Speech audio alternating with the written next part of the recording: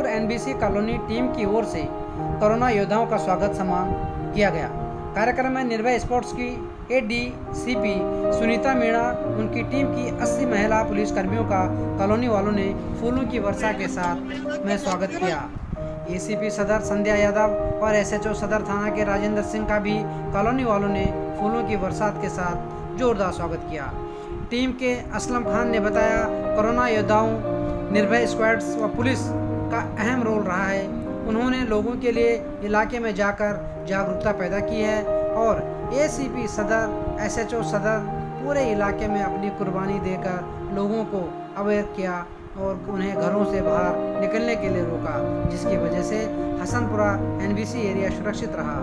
सारी मेहनत पुलिस कर्मियों की है, इसलिए कोरोना योद्धाओं का एनबीसी टीम इस्लाम ने कहा असली कोरोना योद्धा पुलिस कर्मी हैं उन्होंने अपने घर, परिवार, बच्चों को छोड़कर दिन रात लोगों की सुरक्षा के लिए चौराहों पर, सड़क पर अपनी ड्यूटियों को अंजाम दिया। इसलिए इन कोरोना योद्धाओं का सम्मान और स्वागत एनबीसी टीम के द्वारा किया गया। इस अवसर पर कॉलोनी के आसपास शंकर, कुलदीप वर्मा इकराम और उनकी पूरी टीम मौजूद रही। प्रदेश के मुख्यमंत्री अशोक गहलोत ने भी पुलिस टीम के कार्य को पूरी तरह सराहा। इस पर एडीसीपी सुनीता मीणा ने आगे बताया।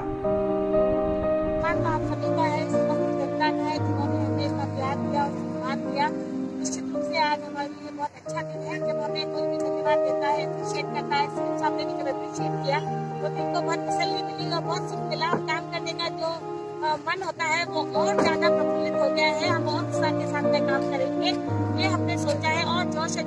साथ करेंगे।